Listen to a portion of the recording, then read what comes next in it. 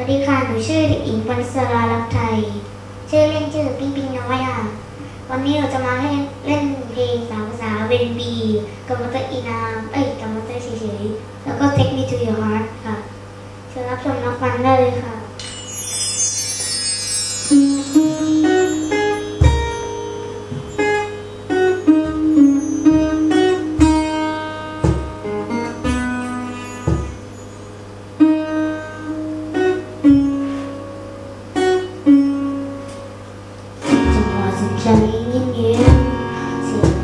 sorry be to your team Giờ này cứ lo giải gì Này càng thuộc chán nhưng tôi sẽ ai biết Kỳ vô tự ý chế Này phục cô từ xa phu yên Này xa tới